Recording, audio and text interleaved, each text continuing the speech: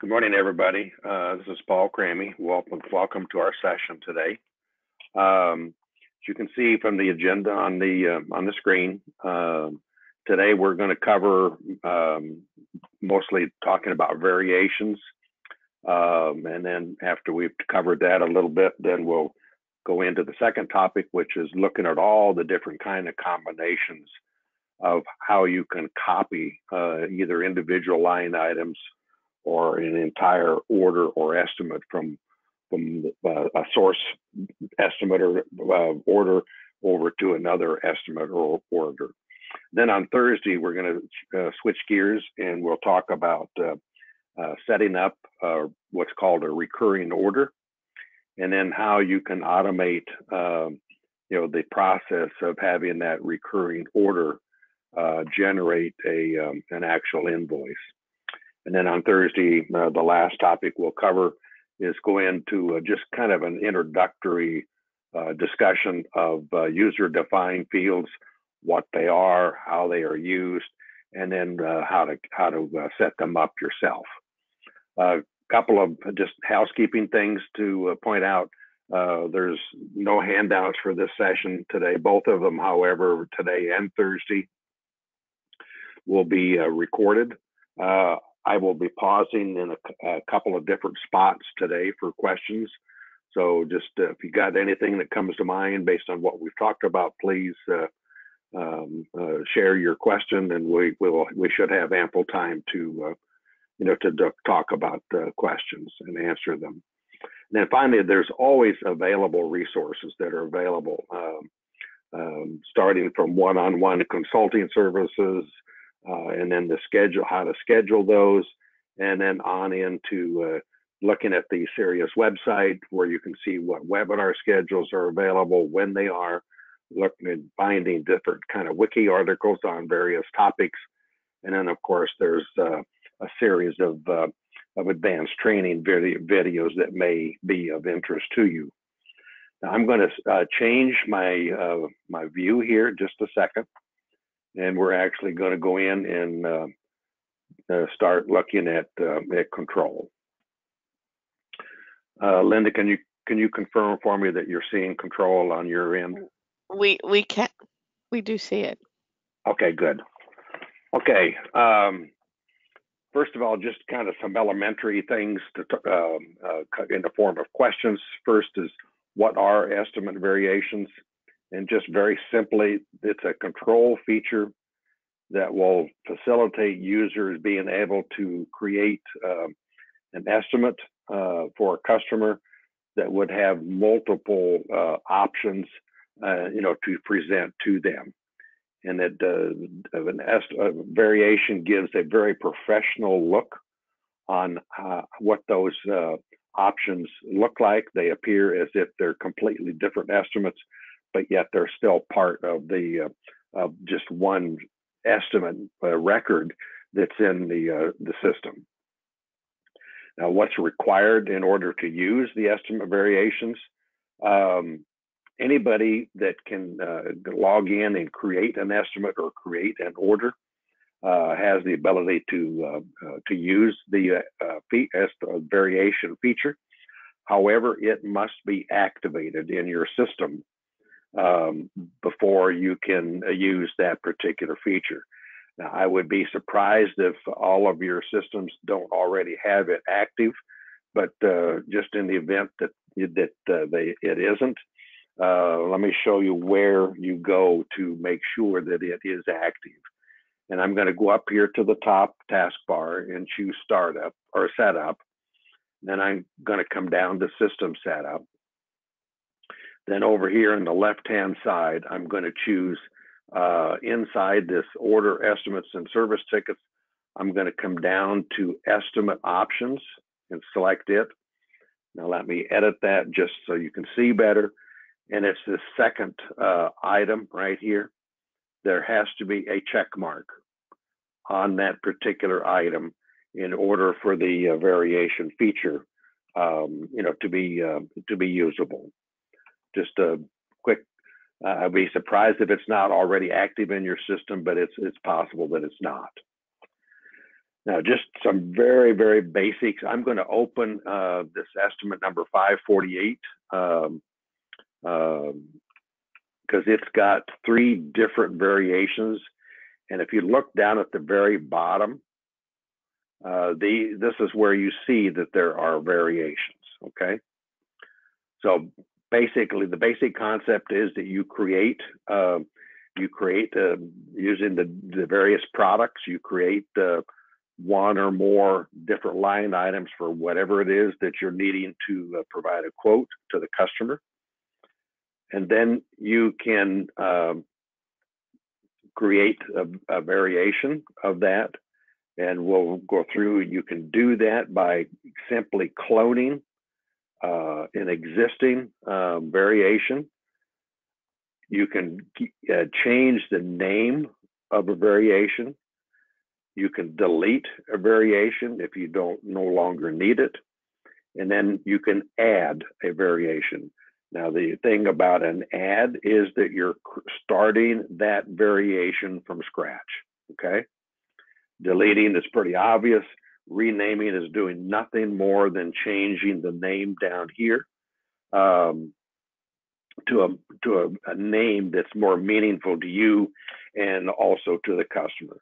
And then cloning, as I said, simply takes everything from the uh, from the active um, uh, variation and duplicates it into another one. I'm going to do that just real quick. I'm not going to save any of this. So I'm just going to clone. Whoops, I've got to get into the edit mode. Excuse me. Um,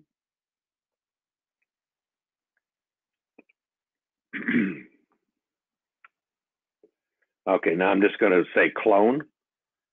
And then notice down here at the bottom, it says this is the, uh, it repeated the name, then added the word clone to it. And everything is identical as far as the product line items uh, that, that are here when you, when you clone. And then I could, if I wanted to, I could come in, excuse me, and rename that to uh, something that's more, uh, more meaningful. So with that kind of background, now let's go in and um, and create one. And I've got one that's partially started um, in the interest of time, so I'm just going to switch over to it. And here what I've done is created two line items. One is a banner and one is or some real estate signs. And you can see down at the bottom, I've named it option one banners and real estate signs. Okay. Now, if I wanted to um, um, begin to add a second variation to this, I can do it, as I said, by cloning, by uh, adding. Um, so if we wanted to do another variation, and I'm just going to start with this blank one, scratch uh, and we'll call this uh, option two. Um, just giving it a name. So now it's, it started from scratch, okay? There aren't any line items in here. Now what I wanna do here is point out, um, and we're not gonna save this, but point out a, a couple of things. I could come back and choose the same digital print product. And let's say we're gonna do a flat stock, we're gonna do six of them um, 18 by 24 uh, on corrugated plastic. Um, don't have any parts populated there, so let me come down to aluminum again. Um, so there, I've added one. Now, what I really wanted to show you was that um, you can come down here and rename it. I, am not going to bother to do that. But look up here at the top uh, where it says view all products. Okay, if I click that, now you're seeing all of the primary, uh, all of the standard product categories, and you could expand these and see all of the different um, products that are in the system. Okay. Now, not part of this discussion right now, but we're going to come back and spend quite a bit of time um, talking about the copy options. Copy a an individual line item, copy an entire uh, estimate or an entire order. So, for example, if I wanted to just copy everything from this order, I would say OK. And now it's going to add that. And it just happened that it was one, um, you know, one line item that was all that was added. OK. So now I'm going to save this so that we can come back and look at the, uh, um, I'm going to save it as an estimate. Um, be helpful if I put a company in there.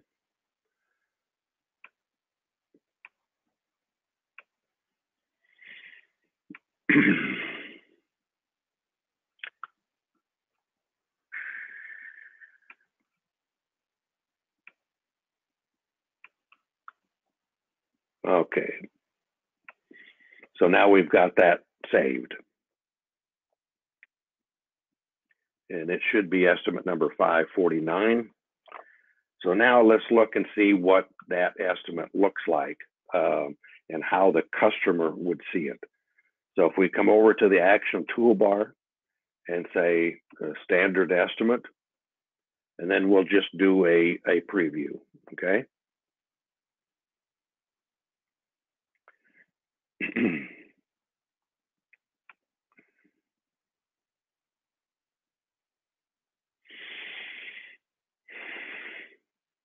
what you're going to see is that the estimate will uh, always have the, the number associated with it, 549.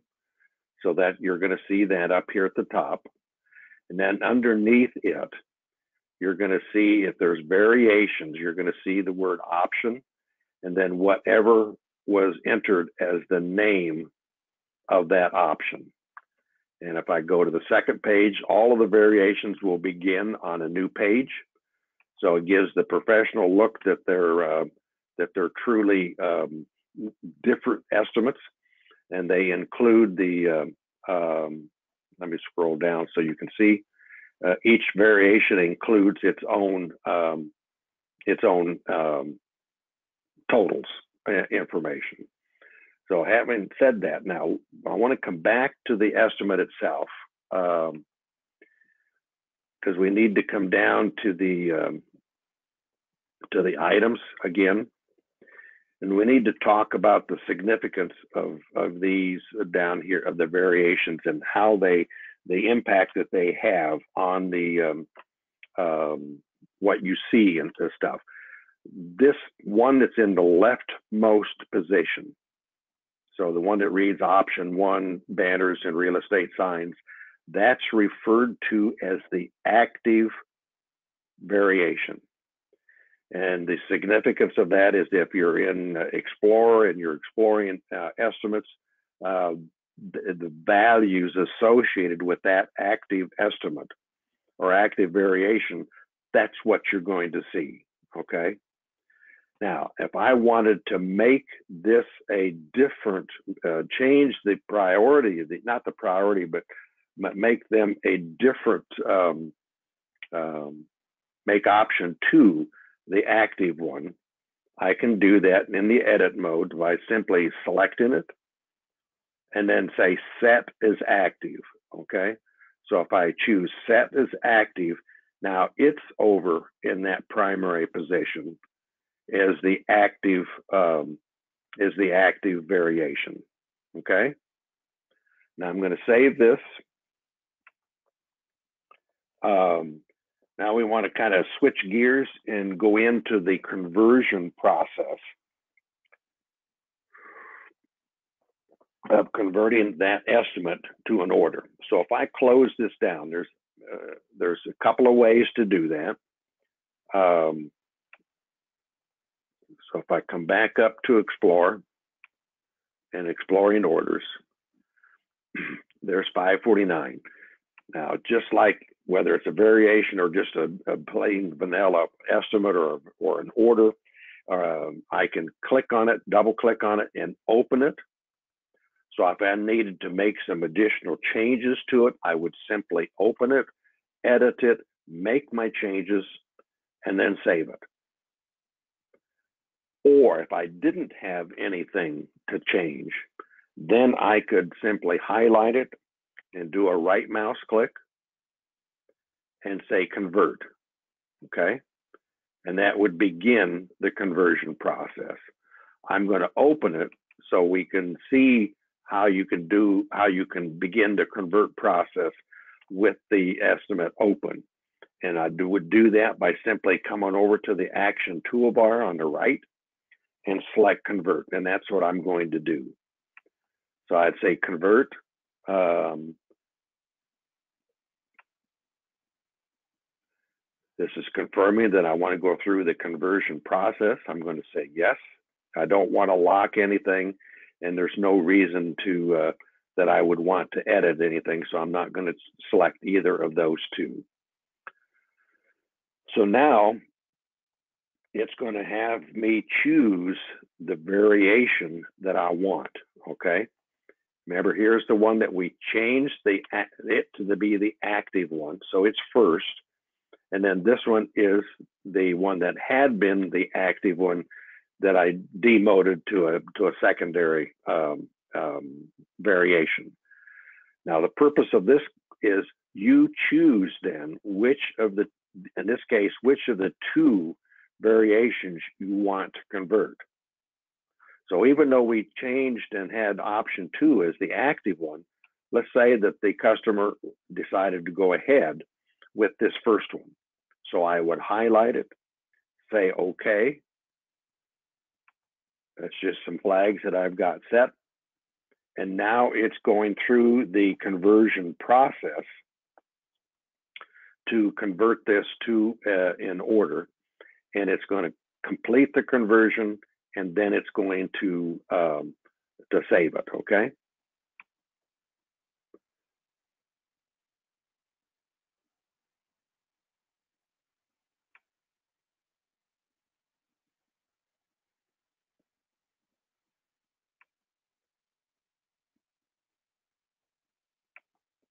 I didn't really need to do that.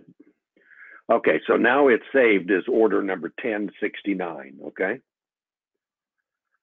So two things that I wanted to show you. Number one that it's this is what it uh, this is the option one that combination that we that we chose. The uh, order came from estimate number 549, which is what we created. But now I want to go back to Explorer and look at the um, uh, estimate number 549 and notice that it is has been converted. Okay. At this point, you can no longer make changes to that estimate. So it's it's locked. You you don't see the edit button over here, so you cannot make any changes to that. I'm opening it because I wanted to show you. Remember, we uh, a few minutes ago we made option two the active one, but we converted option one to the order. Well, it makes that become the active uh, variation. So that's the one that's that was converted, and the other one has is still physically there, but has been demoted to a secondary um, to a secondary position.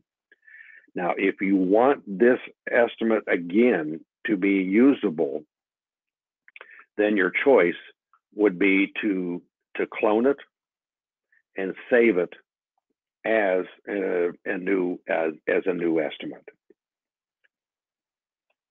Any questions? This is kind of a, a quick walkthrough variations. It's a wonderful, wonderful feature. I think it uh, you can really give some professional um, uh, options to a customer.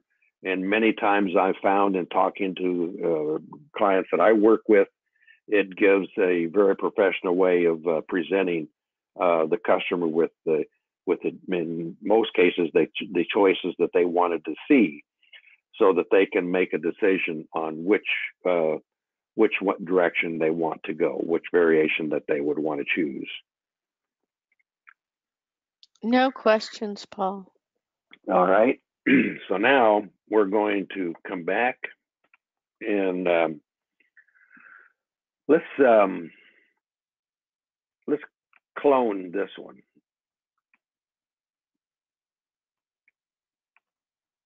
And now what we're going to do is talk about uh, how you can copy um, individual line items or other to um, you know to an estimate. Okay, so we got it open. This is the one that's active. Now let's say that we want to copy some stuff either from um, a different very uh, um, a different estimate or from a different order. And as I mentioned a few minutes ago, I would come over here to, the um, say view products. And let's say that we wanted to copy um, a, an entire estimate or order um, to this one. So what I want to do is to find um, the the different combinations you can copy. Um, you can copy from an estimate. You can copy from an order. You can copy from an estimate variation um, and do that a line item at a time. Or you can say, I want to copy an entire estimate, an entire order, um, and you can copy the the things that you're going to copy. You can copy them to and create a brand new uh, estimate or a brand new order or a brand new variation within an estimate. Um, so you got many, many different combinations of um, of how of, of, how to utilize the the copy features. Think in terms of a destination the destination is what you're copying to. And the source that we'll be talking about, that's where you're copying from. Okay. So you're going to have a from document or estimate or estimates that or orders that you're copying from, and you're going to be copying them to a destination, which can be either a new order or a new estimate or an existing one. So the, the process, let's copy um, let's start from scratch. Okay, I'm going to change my mind and start from scratch. So I'm going to do a new, let's do a new estimate. And let's do um, a line item, flat stock, do 10, um, oops, 10, um, 48 by 96. Um,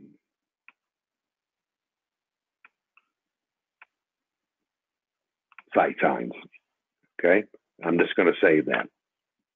Now, let's go say that we want to copy from um, other sources um, so what we would do is you could either continue to add line items or I could come up to view all products. And if I wanted to copy an entire, uh, every, every line item from an existing, um, I can do it from an existing order. I can do it from an existing estimate. So if I want to copy from um, uh, look at my notes here. I got one. It's uh, let's choose 548. Okay. So I want to copy every line item from estimate 548. so now it's going through. We had one item before. Now it's asking me which of these variations do I want to copy. So let's copy this one, okay?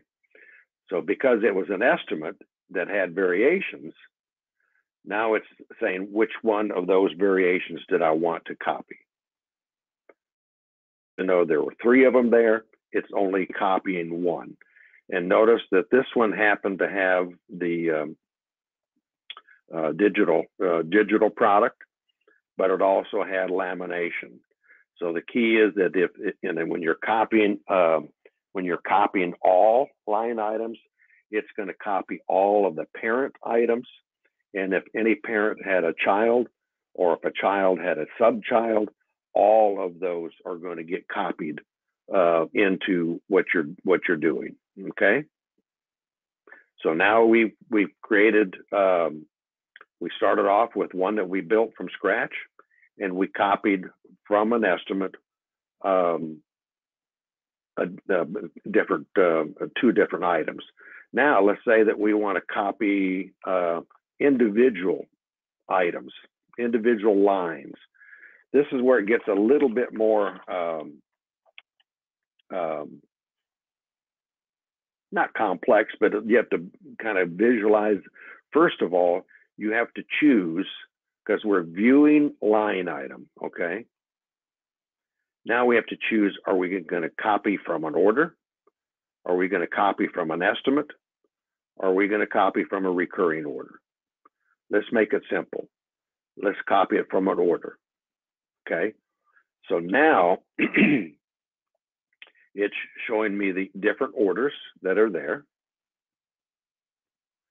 And it's showing me that within this one, I have line item one and I have line item two.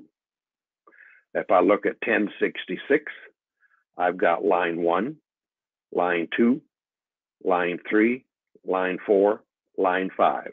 Okay, so I have five different line items in that particular um, in that particular order.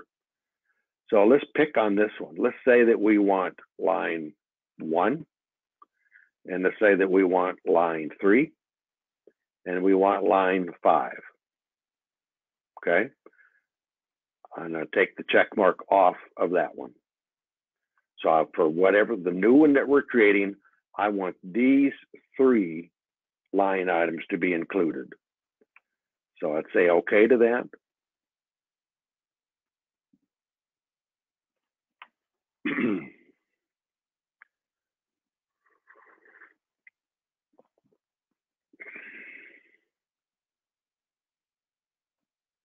and it opens up the items. And now you can see we started off with the one that we created from scratch. Lines two and 2A, we copied uh, in entirety. And then lines three, four, and five were the ones that we copied um, on a selective basis out of that order that actually had a total of five different um, different line items. Okay. Um, I'm just looking at my notes here just a second.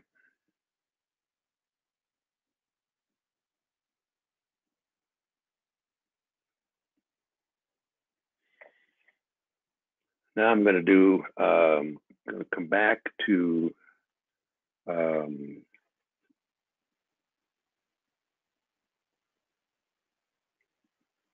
I'm going to come back up to the copy line items and I want to go to an estimate.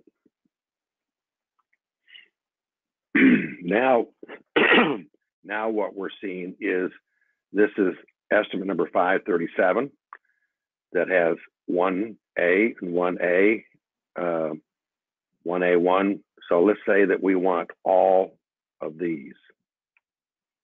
So now we're bringing in the parent and the child. And in this case, there should be a subchild. Okay.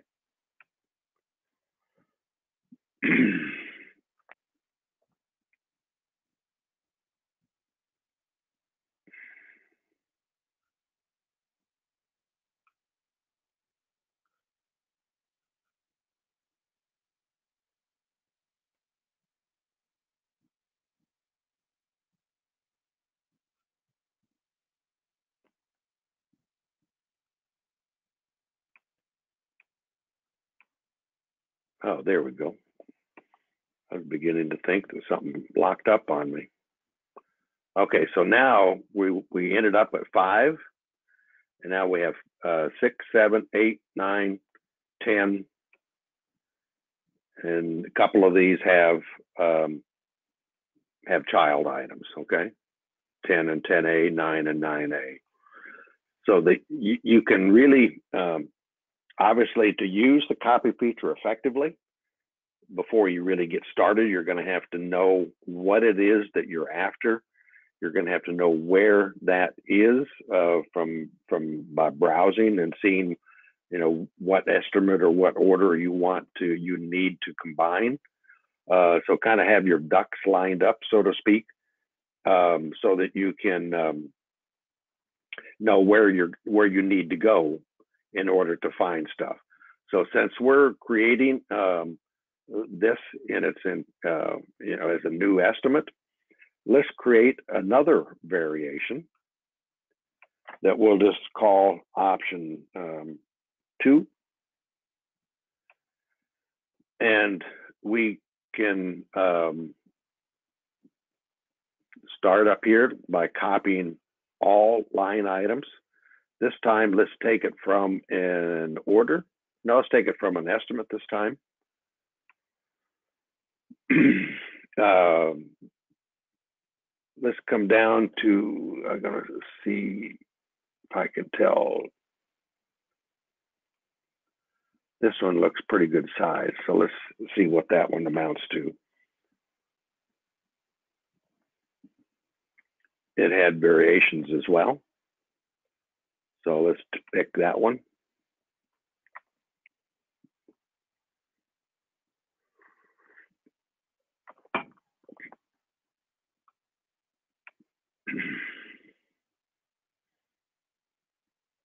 Now we're now we're beginning to populate the second variation that we started, not by entering things from scratch, but rather by going back into uh, another estimate and bringing um, bringing all of the line items for that one, for one variation into um, into this new one.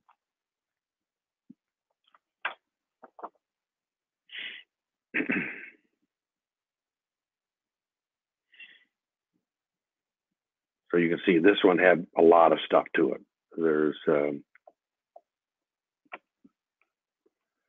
line one, it had parent and it had child items.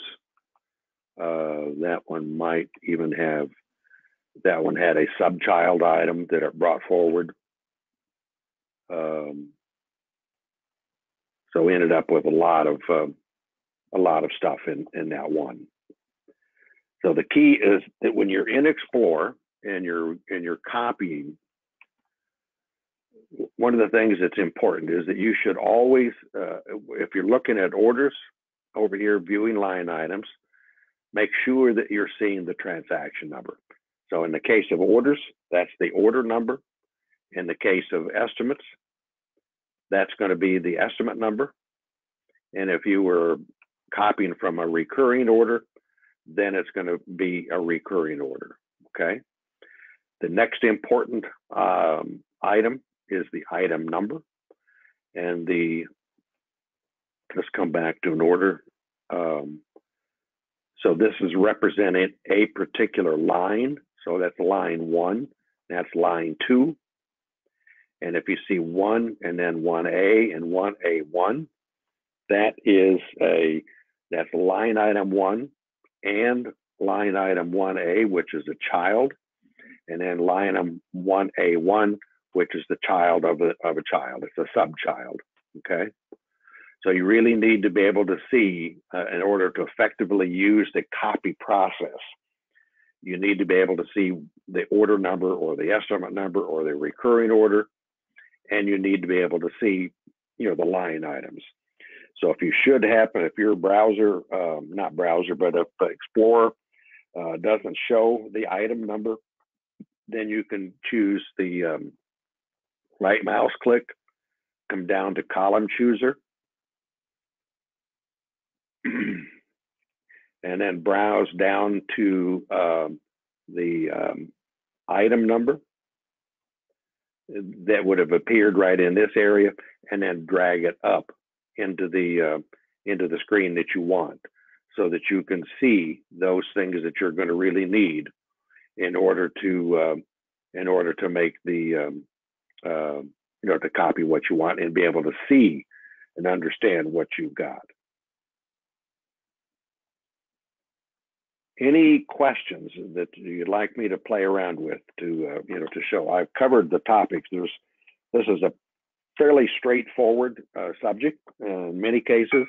I think the um, the copy from and to um, is incredibly uh, inc- incredibly powerful.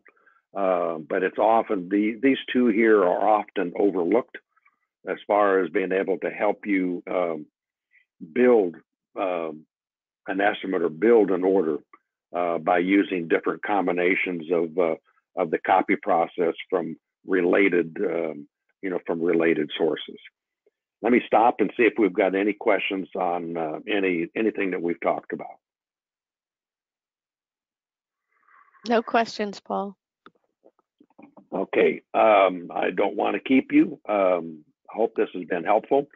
Thursday, we're going to get into, um, we're going to talk uh, in quite a bit of detail on um, on recurring orders, creating them, saving them, and then walk through the different processes of uh, how you can uh, uh, convert one of those, uh, not convert, but how you can create an order from a, a recurring order. You can either do that manually or refer to as on demand. And then we're going to go through and create a um, create a macro, um, and then learn how to schedule that macro so that if you're if a customer has a something that they want to reorder on a on a on a regular basis, weekly, monthly, quarterly, then you can create the recurring order, save it, create the um, the macro and the calendar, you know, so that that automatically happens um, um, on the scheduled basis that you that you wanted worked out with the customer. And then we'll finish up talking about uh, user defined fields and um, seeing what some of the simpler ones are and how to create them. If there's nothing else, um, I hope this is helpful again, as I said, and um, I hope to see you back on on Thursday. Thank you, Paul. Thanks, Yep, everyone. Take care. Yeah, take care, everybody. Bye bye.